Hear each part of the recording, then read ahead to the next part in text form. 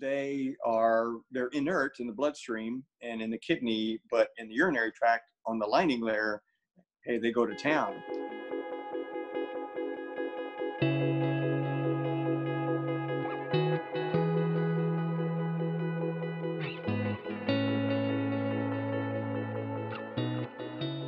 Maybe you can talk a little bit about breaking the cycle of a UTI followed by antibiotics, followed by a yeast infection, followed by a UTI again. People just get stuck in this cycle and don't know how to treat what and if they can ever break it.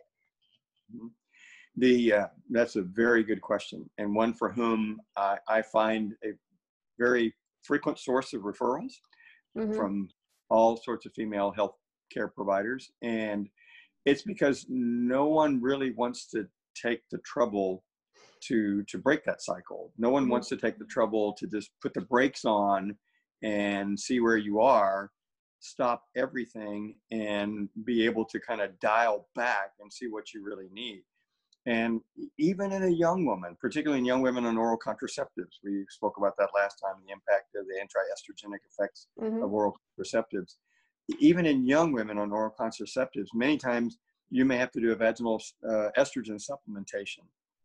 Um, you may have to do mechanical cleansing. Now, I don't mean that like douching or anything like that. We're totally against that, as you know. Mm-hmm. But we're talking about with some of the supplements and cleanses, like probiotic cleanses or RepHresh and replens is what it's called here in the U.S. Mm-hmm. These are these are pH chemical balanced, um, uh, anti-inflammatory, and um, physiologically balanced uh, solutions that can sort of just restore the normal chemical environment of the vagina, which is lost during this um, circumstance. And many times, all these medications and antibiotics and the yeast overgrowth and mm-hmm. bacterial growth create a, a, menopausal state in the vagina, one that's untreated.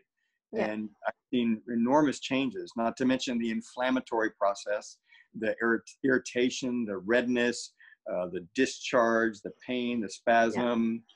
Uh, you, you, you get there and you just have to just dial back and treat everything honestly. Yeah. And, and I've done everything from telling any partners to stay away for a long time to and to using uh, long-acting local anesthetics that last like eight hours, just whatever it takes to get the woman comfortable mm-hmm. uh, and get some form of physiologic balance restored in her vagina, and, and, then start back again with microgen, vagina, bladder, and swab the genitalia because you mm-hmm. get surprises when you swab the genitalia right. that coliform organisms like the ones that inhabit the rectum can live in the external genitalia in mm-hmm. some susceptible women and they are the source of it um, and and obviously important to modify sexual activities and timing and things like that to, uh, to prevent that but for me it's a full court press under those circumstances mm-hmm. and then be very careful um, I do believe in prevention, and we'll talk about that, I think, in a moment. So,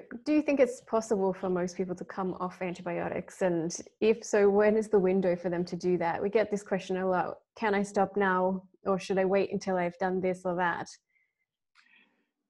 I think that depends. Not trying to be recalcitrant to answer that question, but I think that depends on the the, the severity of the infection, the frequency, mm-hmm. with that patient, how refractory they've been in the past. If there's someone who's never been off an antibiotic for three years, the answer is different than somebody for the last three months who've struggled.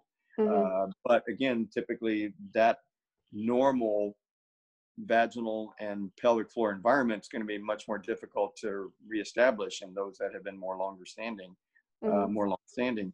So I would say it's always appropriate once you've treated for an adequate course to stop and see what happens. But I mm-hmm. like to follow that with, okay, but we're going to do prebiotics and uh, vaginally. We're going to do high dose probiotics intestinally mm-hmm. by mouth um, for at least a week before you come off. Um, we're going to make sure we're going to we're going to do a vaginal pH. We're going to look and see We'll do a wet prep and make sure you don't already have some form of bacterial overgrowth or fungal overgrowth mm-hmm. that's going to cause you to relapse after you stop the antibiotics. Uh, and and just be proactive about all these issues, not just mm-hmm. wait till a patient comes in miserable and she's been waiting three weeks to get in to see you, and and then all bets are off because the inflammatory cycle is just uh, out of control under those circumstances. Right, definitely. And that's kind of the next question. What can you do to support that recovery? But you're suggesting that you should really start that immediately, not mm-hmm. wait until you start to have correct, symptoms correct. again. My patients, my patients, forgive me for interrupting, Melissa, but I, my patients get a prescription for high dose uh, probiotics and mm-hmm. specifically how to take them uh, right with the same prescription. Uh, they get a um, dietary uh, a handout that shows them what to avoid that may cause problems with the antibiotics. Uh, we're very specific about how to take the antibiotics with other mm-hmm. food, with so you don't have a, an interaction or a diminishment in absorption. How to take them with the timing with the probiotics. Uh, what to do for vaginal health during that time, what you can do to support uh, vaginal health during that time. Mm-hmm. Uh, all of those things we send them out at the same time. Okay. Are there any supplements that you recommend taking that can help mm-hmm. prevent UTI? Mm-hmm. Mm-hmm. So I also um, specific uh, D-mannose is something we give because D-mannose has been shown to help. Um, mm-hmm. And uh, then of course I, am a strong believer in cranberry. If you don't have IC, uh, a lot of patients with IC, the acid that you need to get enough cranberry is good. You need to have um, really good pure cranberry extract mm-hmm. uh, with 65 milligrams of pure camp cranberry extract, and that needs to be given three or four times a day. Uh, typically, that takes the 200 milligram capsule in order to be able to get that. Mm-hmm. Um, and I, I'm, I just strongly believe in, in those um, those preventions. So. And people are starting to ask a lot of questions about vaginal suppository probiotics. You mentioned mm-hmm. prebiotics. Um, how mm-hmm. should you use the suppository probiotics? And should you always use them at the same time as oral probiotics? And for how long? So the, the prebiotics are, are just basically a different form. Uh, they're ones that are basically preparing to recreate the lactic acid environment uh, mm-hmm. from lactobacillus in the, in the vagina. And so the prebiotics typically are those that are given either in a suppository or a pulpule or something like that. There are some liquid forms you can give through something that looks like a tampon inserter, uh, okay. and those are available too.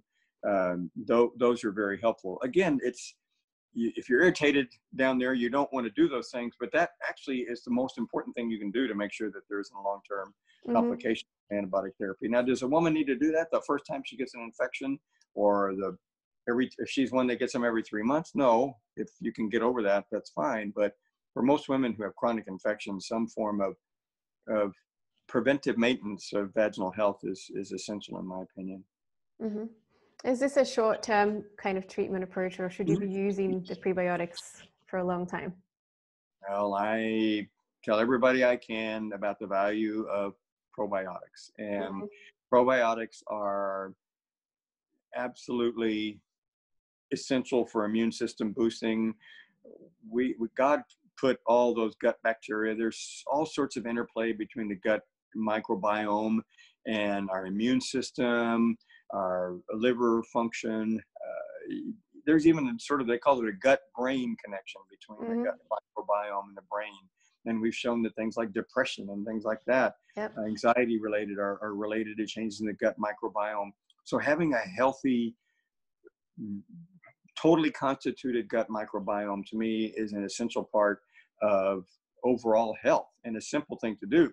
But we doc screw that up all the time by giving people antibiotics that destroy it immediately. Mm-hmm. It can take weeks or months to rebuild. So I'm I, I tell my patients they should be on 60, 80 billion of uh, probiotics, 60, 80 to billion colonies per mm-hmm. uh, probiotics daily, and then double that when you're on antibiotics. So okay. that that's basically what I tell them.